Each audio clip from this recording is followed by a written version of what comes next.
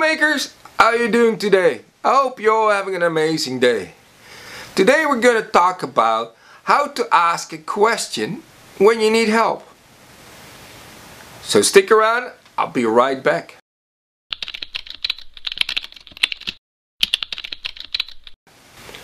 So when you're stuck and need help, there's always places you can ask for help and I love emails from people that have questions about either my projects or projects they're working on themselves.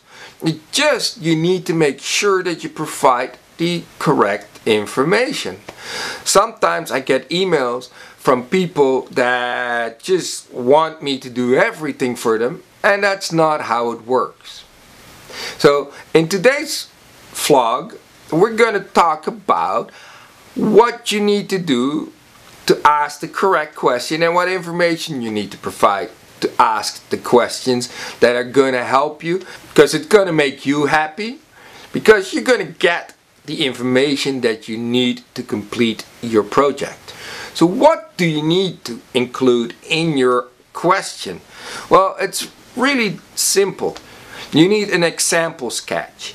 And that is often not your completed sketch, but just the part of the sketch that is functional where you have the issue.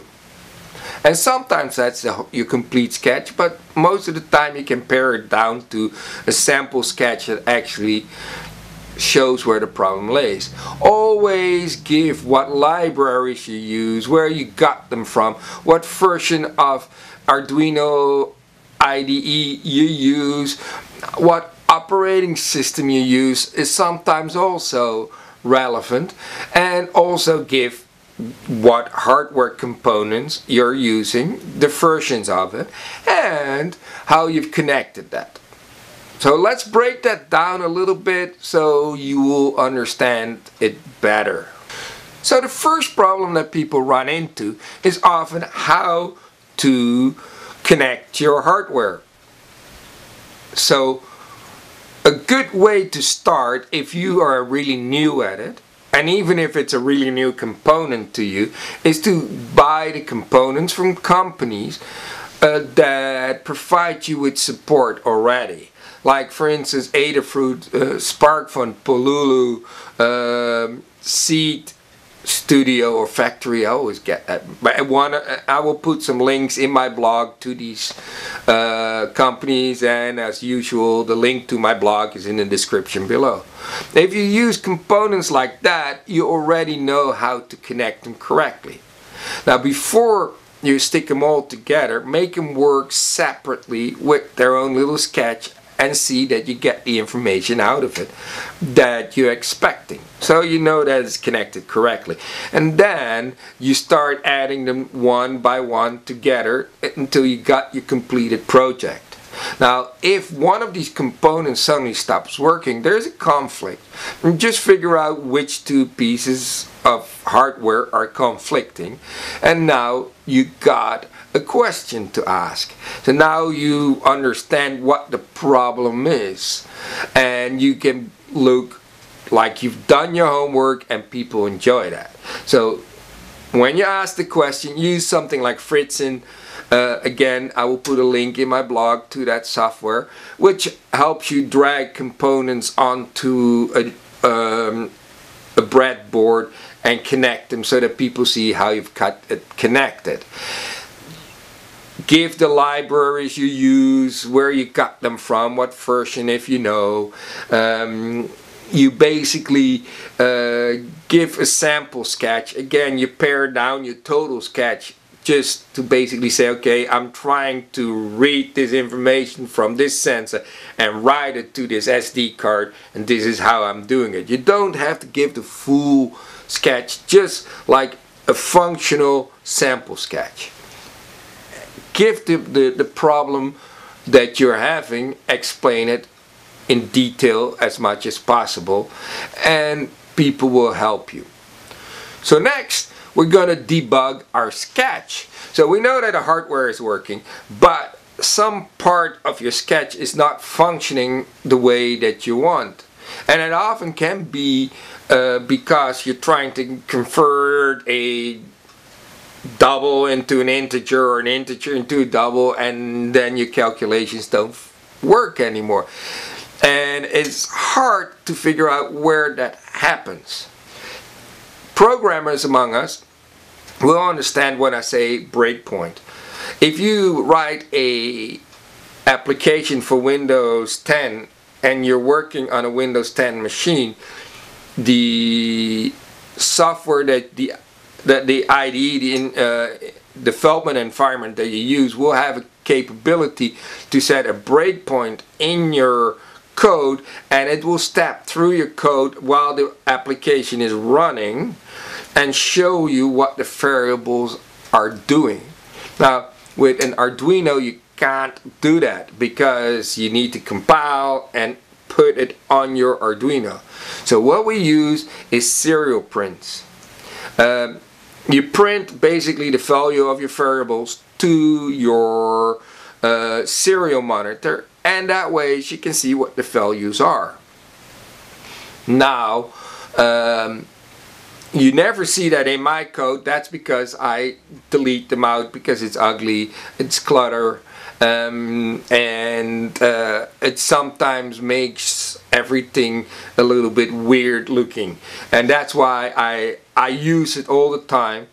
And this is how I get to my final projects and if I would not use it I would never figure out half the time where the problem lays.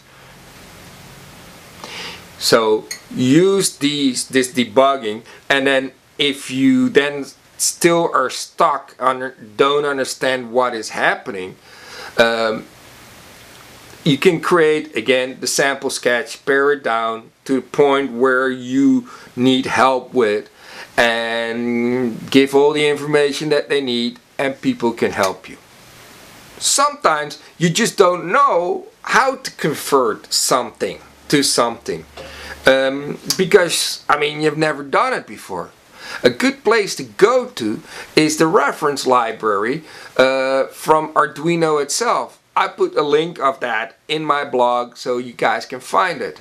Um, there they have everything organized by functions, by syntax of how language works, uh, what variables you can use, and it gives you a lot of information.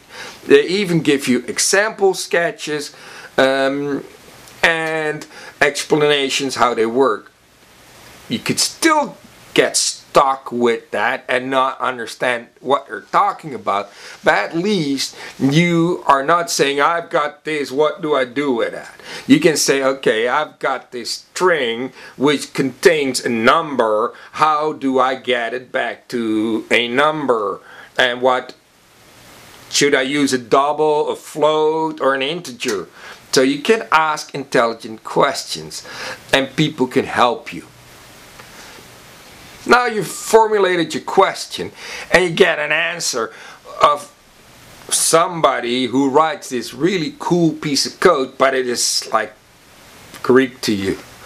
Now you don't have a clue what it means. As long as you understand what you need to put in it and what comes out of it is correct it's okay to use that code.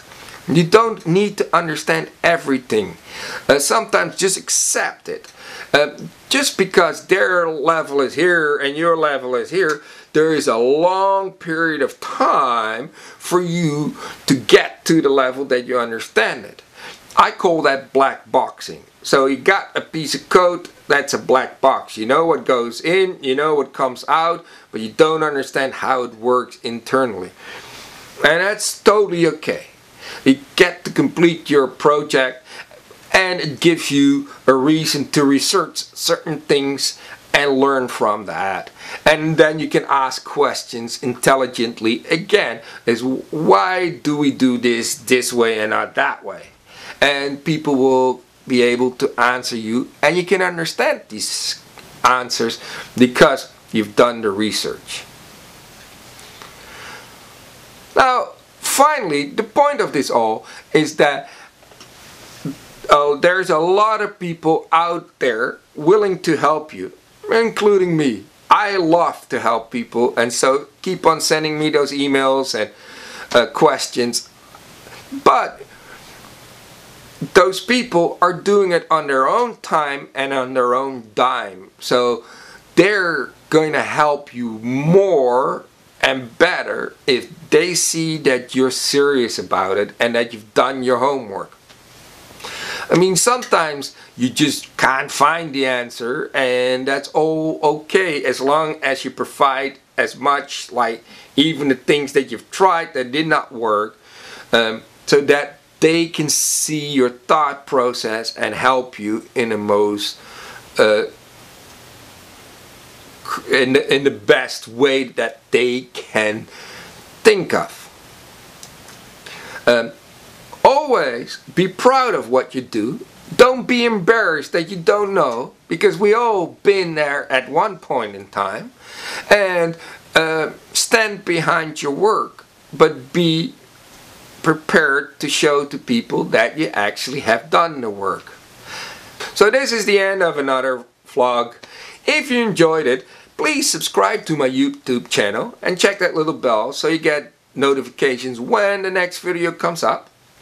Um, or subscribe and follow and like me on Facebook. My Facebook page will be in the link below in the description so you can follow that or go to my blog again the link to my blog is in the description below. Go to the bottom, fill out the form, and subscribe to my newsletter and get a monthly newsletter of what I've been up to this month.